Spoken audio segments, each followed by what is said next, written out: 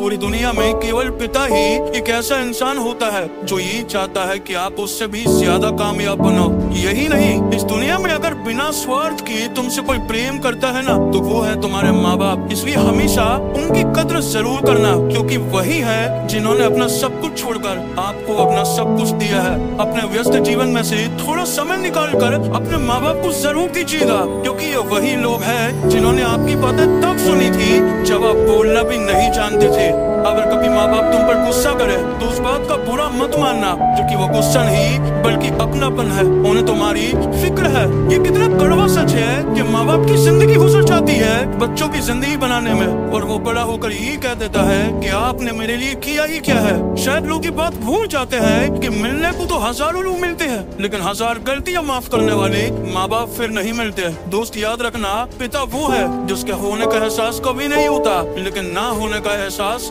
बहुत होता है। पिता का प्यार मुफ़्त में मिलता है, शायद इसीलिए उसकी कोई कदर नहीं। बाकी इस दुनिया में तो हर रिश्ते की कुछ ना कुछ कीमत ज़रूर चुकानी पड़ती है। दुनिया भर के रिश्ते निभा कर ये जाना कि माँ बाप की सिवाय अपना कोई नहीं होता। जिनको ये सच्चाई मालूम है, वो दुनिया में सबसे ज़्यादा खुश नसीब है। और जिन्होंने सच को जानते हुए भी अपनी आँखें बंद कर ली है दुनिया में शायद उनसे ज़्यादा बदनसीब कोई नहीं। इसीलिए कभी अपनी जबान की तेज़ी अपने माँ बाप पर मत चलाना, क्योंकि ये वही लोग हैं जिन्होंने तुमको बोलना सिखाया है। हमेशा अपने पिता का सम्मान करना, क्योंकि पिता उस पेड़ की तरह होता है, जिसकी छाव में पूरा परिवार सुख से रहता है। अगर कोई पूछे तो ये मत कहो कि मेरे माँ बाप मेरे साथ रहते हैं, बल्कि गर्व के साथ ये कहो कि मैं अपने माँ बाप के साथ रहता हूँ। इस दुनिया का कड़वा सच है कि माँ बाप की नसीहत सबको बुरी लगती है और माँ बाप की वसीयत सबको अच्छी लगती है। दोस्तों, वीडियो के अंत में बस इतना कहना चाहूँगा कि अपने माँ बाप पर इतना विश्वास करो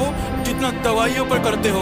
बेशक कर भी होंगी, लेकिन आपके ये फ़ायदेमंद भी होंगी। दोस्तों, अपने माँ बाप से प्रेम कीजिए, अपने परिवार से प्रेम कीजिए। किसी ने कितना सुंदर लिखा है, प्यास थी गजब की, मगर पानी में जहर था। पीते तो मर जाते, ना पीते तो प्यास से मर जाते। बस यही दो मसले, ज़िंदगी भर न हल हुए, न नींद पूरी हुई, न ख्वाब मुकम्मल हुए।